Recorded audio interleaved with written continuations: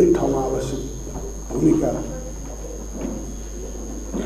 ससम्मान भावमा हामी चाहिँ हरेक ठाउँमा हरेक जिल्लामादेखि लिएर सारा ठाउँमा केही केही भूमिका दिने पनि म तपाईँहरूलाई विश्वास गर्न चाहन्छु।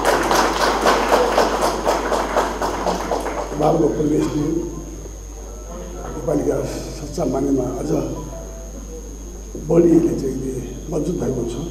सात सालदेखि नै शासन हटाएको पार्टी हो पञ्चायत हटाएको पार्टी हो गणतन्त्रमै ल्याएको पार्टी हो यसले अझ धेरै कामहरू गर्नु बाँकी छ देशमा चाहिँ स्थायी शान्ति स्थायी प्रजातन्त्र स्थायी संहिता स्थापित गर्नुपर्ने हुनाले यसमा चाहिँ तपाईँको भूमिका सहयोग के हुनेछ भन्ने आशा गर्दै तपाईँलाई फेरि फेरि हार्दिक स्वागत गर्न चाहन्छु अर्को पार्टी यो पार्टी भन्ने कुरा अब पुरै मेटेर पुरा काङ्ग्रेस बनेर तपाईँहरूले साथीहरूसँग जिल्लामा गएर काम गर्नुहोला र आज नेपाली काङ्ग्रेसले सबै नेपाललाई समेटेर लाने प्रयासमा काङ्ग्रेस काम गरिरहेको छ र नेपालमा सबैलाई समेटेर यो चुनाव सम्पन्न गर्ने हाम्रो अभियान जारी छ र हामी तराई मधेसका पार्टीहरूलाई पनि अब उहाँहरूसँग वार्ता आज गरिरहेका छौँ।